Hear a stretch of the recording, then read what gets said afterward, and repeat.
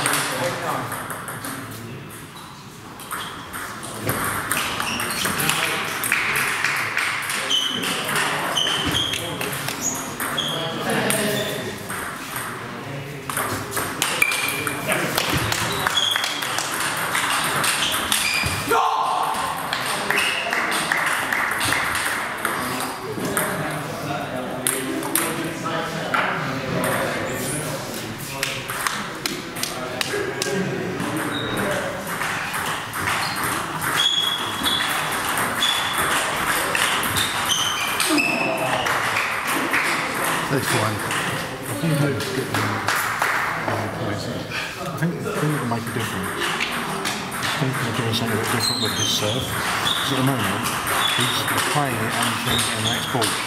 And I'd like to see more. If it's wrong, positive with it. Whatever, whatever that is, even if it's top spin it into his forehand, because at the same time, it's his big shots, he sets his feet and gets down really low, and he's struggling with the crossover.